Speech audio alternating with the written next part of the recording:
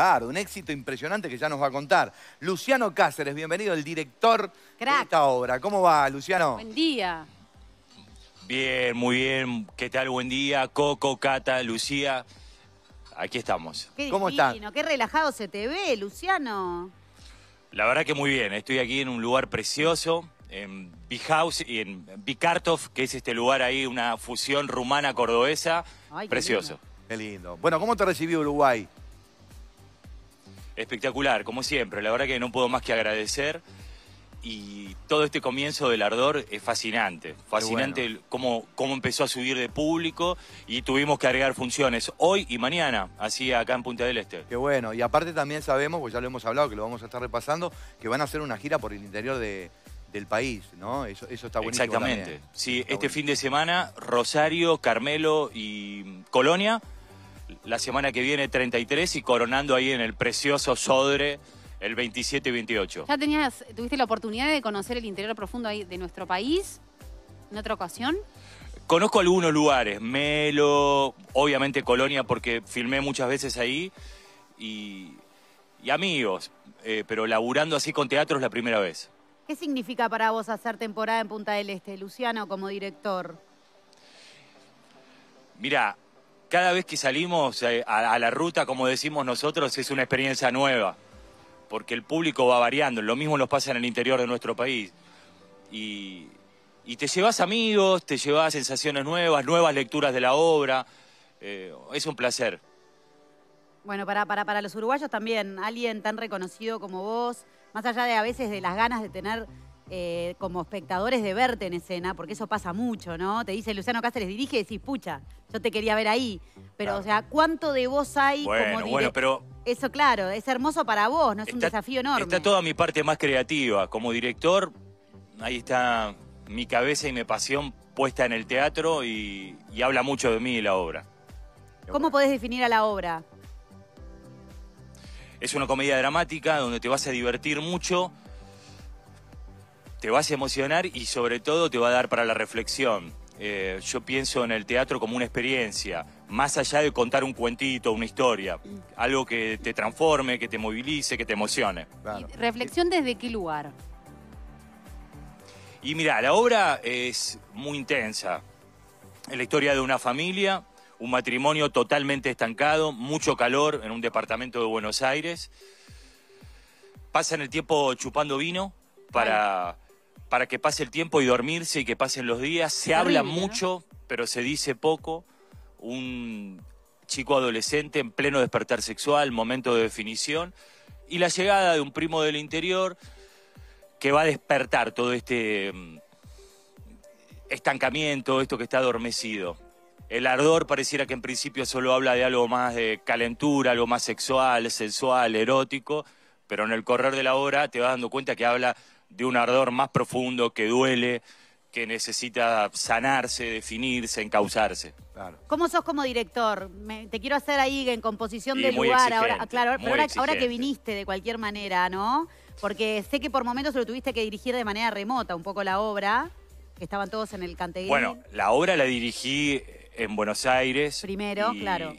Y todo este montaje, todo este montaje aquí en Punta del Este los últimos días, porque tuve COVID vía Zoom, pero la obra ya estaba ya puesta. estaba puesta, o sea, ya, ya los actores ya estaban dirigidos. Exacto, sí. Entonces sos muy exigente, muy Exactamente, exigente. Te gusta hacer varias pasadas, Pero te amoroso, gusta parar. ¿Cómo, cómo, cómo te manejás Amoroso. con los actores? Y soy actor, entonces entiendo que cada uno tiene procesos distintos. Somos seres muy emocionales, con altibajos, como todo el mundo. tenemos Entonces, nuestros días. Cada, cada uno tiene un trato distinto, ¿no? Claro. Es Claro, así. sí, tal cual. ¿Qué tiene? eh, eh, acá van dos. Primero, ¿qué te seduce más? Eh, sobre todo cuando te presentan un guion, ¿no? Eh, ¿La actuación o dirigir? Ah, pensé que me ibas a hablar de otra cosa. no, no, no. ¿Qué te seduce más por ese lado? Claro. La dirección es algo que me encanta. Lo hago hace 25 años y creo que mm, ahí está mi ser más creativo. Como me interesa también eh, las luces, la escenografía, Claro. el vestuario, todo lo que sucede en el escenario, ahí puedo, puedo expandir este, mi arte, ¿no? Ahora, sin duda que toda tu experiencia como pero la actor es- nutre esa Claro. dirección. Claro. Claro. Exacto. Claro. Pero a la- hora que te llega un guion, eh, ¿qué tiene que tener justamente para que vos decidas, sí, es esto, lo voy a hacer, lo voy a dirigir o lo voy a actuar en este caso? Mira, yo cuando leo una obra y la empiezo a imaginar, me di cuenta que ya estoy trabajando en Claro. ella. Hay algo ahí que se activa y que la empiezo a ver. Que, que, que entras en el personaje, que ya lo, uno lo- se vuelve lo como empezás un- a leer eh, con, un, con un sentido de pertenencia, ¿no? Sí, aparte digo, pu, pu, no quiero decir mala palabra, digo, pu, ya estoy trabajando, ya la quiero hacer, ¿viste? Claro. ¿Y cómo haces la selección de los, de los actores? ¿Ya te empezás a imaginar quién podría ser? o- Mira, sí, claro que sí. Y mis elencos son siempre buenos actores y buenas personas, porque mis obras viajan mucho y además tienen que ser seres que puedan convivir. Claro, que sea un placer, o sea, el Es encuentro, el Hacer encuentro que es un sea plan. lindo. Es fundamental. ¿Cómo, ¿Cómo definís al público uruguayo? Tiene ¿Qué te parece que tiene el público uruguayo que capaz sea diferente al argentino o no? Mira, hay algo que, que, que yo vivo acá cada vez que vengo cuando vine por alguna película o a hacer notas por algún programa de televisión. Es muy amoroso, muy amable, eh, muy respetuoso. Creo que se entiende muy bien nuestro oficio acá. Hay un respeto por... A veces, muchas veces es ninguneado nuestro oficio. Hoy este es actor, no labura. No, no, no. Este, se le da un peso muy importante a nuestro trabajo. Claro, es fundamental. Acá Eh, tienen grandes actores. Bueno, compañeros míos también allá en Buenos Aires, ¿no? Sí, Y- la verdad que sí. Y una historia de teatro muy potente, sobre todo en Montevideo. Muy fuerte. Sí, hay más actores Tanto que- realizadores independientes Sí. como, como bueno, el, el- el elenco estable, gente que viene haciendo teatro de repertorio muy potente. es verdad. ¿Qué, qué, qué- Ni hablar vos- de los cineastas de acá, los actores, increíble. ¿Consumís cosas uruguayas, música uruguaya, arte uruguayo, teatro, Sí, cine? sí. Claro que sí. Sí, sí, sí. Y grandes compañeros y amigos también ahí. eh. Qué bueno. Si te, si te pongo En- una en- en algo trilogía... somos muy parecidos, creo. Estamos muy hermanados. Sí, claro, obviamente, obviamente. Este, nosotros, por ejemplo, para hacerte esta nota, viste que le empezamos a, a poner el, el tono argentino y te dejamos el bo.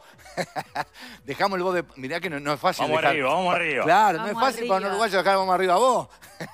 El che, vamos arriba. Te pongo No, en una trilogía. Pero, pero a nosotros nos pasa, ¿viste? Estás unos días acá y ya te volvés Claro. uruguayo. Tal cual, Y- tal cual. Y hay algo así que es linda, la, la tonada. Es muy amoroso el, el- el- el acento uruguayo. Qué es muy lindo. Bueno, Muy lindo. calmo, hay algo ahí que te contiene. Te pongo una trilogía, vos que has hecho de todo, que es lo que más te seduce, o capaz que me las podés enumerar.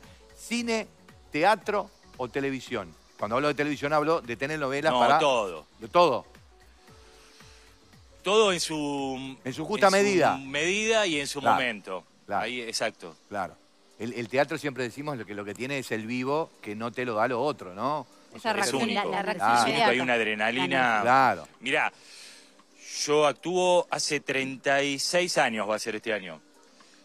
Y, y lo bueno de eso es que siempre tengo el mismo nervio. Claro. Dicen apaguen los celulares y yo Uh. quiero salir corriendo a casa, me duele la panza. Ah, Y gracias a Dios la llama está viva, como digo. Claro, claro. Eso, pará, pero eso te pasa también cuando haces una, una película o, o grabas una ficción. De repente hay otros También, tiempos. sí, sí. Y te, pero, pero por lo menos tenés la chance de que vamos de nuevo. En el teatro no tenés la chance del vamos de Es nuevo. verdad. Claro. No, claro que no. Es verdad, pero siempre tengo ese nerviosismo, esa ansiedad de cómo encarar, sobre todo en los comienzos, ¿no? Cuando uno está dándole forma a un personaje. El cine es muy artesanal también. Claro.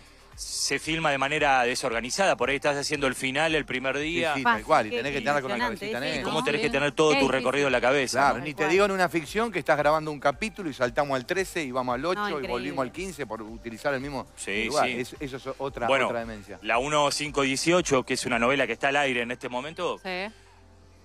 Grabábamos con 40 capítulos abiertos. No, no. Ay, Dios mío. No, no, una locura. Por ahí yo no le había dado el beso y ya estaba separándome. Claro. Ay, ay, ay. Claro, decías, bueno, eh, bueno, ahí es un, un gran trabajo de, de- de- de la continuidad, ¿no? No, De la composición de tu personaje, pero que también Exacto, sí. el continuista Sí, sí. este, Sí, te diga, logre, acordate que de claro, dónde venís sí, y cuál es el estado de ánimo que tenés que tener. Hablanos No, un poquito y- justamente de... Y yo de- soy muy responsable con eso, muy...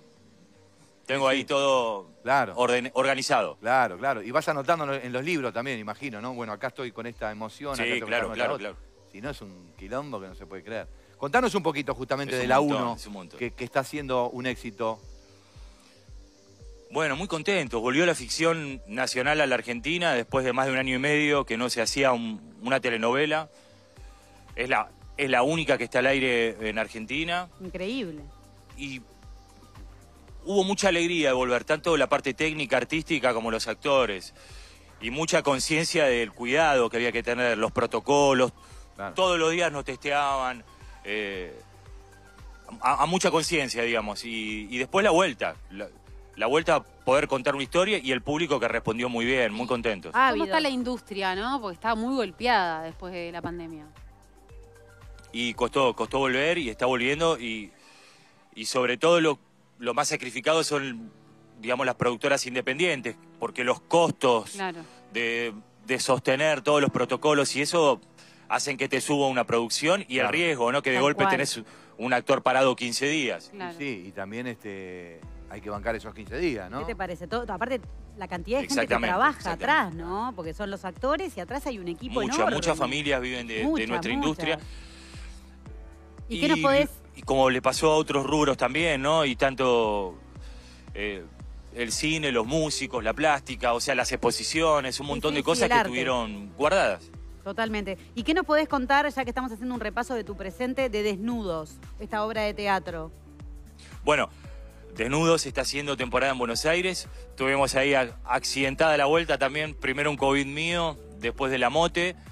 Pero es un exitazo. Muy contentos. Está, contanos cuándo está, porque acá, bueno, eh, ahora que se puede viajar... Sí. De jueves a domingo Sí. en el Metsura, Sí. eh, ahí en la calle Corrientes. Y. Brenda Gandini, Esteban Lamote, Gonzalo Heredia, May Escápola y Sabrina Rojas. Es flor Bueno, ¿y del quién les habla? Qué elenco. Claro, tremendo. Eh, Hermoso, bien- hermoso. bien, Una obra que Aparte fue se, muy se bien. ve que se llevan Mar del espectacular. Plata y el año pasado haciendo temporada. Sí.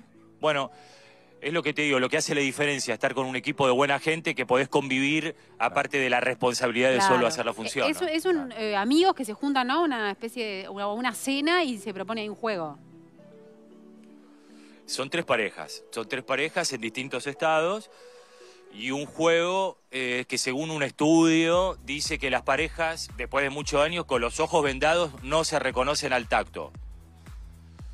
Proponen, apuestan para jugar a eso y ahí se arma, se arma Se la gorda, como se dice todo. allá. Claro, Qué momento. Qué momento. Qué riesgo jugar a eso. Mejor no juguemos, diría. claro. Igual desnudos no habla solo de un desnudo físico, Claro. sino Claro. también habla de un sacar montón- al desnudo todo Abrir eso guardado, Sí. adormecido, ¿no? Me, Tal cual. me imagino. Eh, ¿Hay ideas de, de venir a Uruguay con desnudos? Sí, estuvimos por venir ya dos veces, pero nos paró la pandemia. Claro. Claro. Así que esperemos que este año se concrete. Espectacular. ¿Andás con Sibila Trabal por ahí? Que es gran promotora de la obra de Sibila no, me abandonó hoy, ¿Qué? pero, me- No, no. No la podemos pero creer. la, pero la tengo en contacto acá. Ah, Ah. hermosa Este, Sibila. hermosa, Nosotros un la, gran trabajo de laburante. prensa. nosotros la amamos y está muy Una, una maravilla. mucho ustedes. Todo el, todo el equipo acá de Uruguay es una maravilla. Tres cuartos producciones nos tratan como, no sé, como reyes.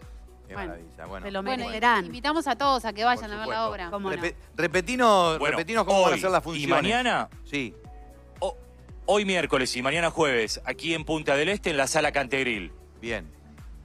Y Este después fin de semana, Carmelo, Colonia y Rosario. de memoria, ¿eh? ¿Te lo tiró? La semana que viene 33 y 27 y 28, ahí cerrando bien alto y bien arriba en Montevideo en el, en el hermosísimo Sodre. Qué. Espectacular. Qué Tremendo, qué tremendo. maravilla, qué maravilla. Eh, Luciano, Así que bueno, sido- los esperamos. por supuesto. Claro que sí. Ha sido un placer y te esperamos también. Cuando vengas por Montevideo te venís a dar una una vuelta, vuelta. acá por el canal. Por favor, el placer fue mío, gracias por el apoyo y, y nos vemos pronto. Abrazo Gracias, grande. Luciano. Beso grande.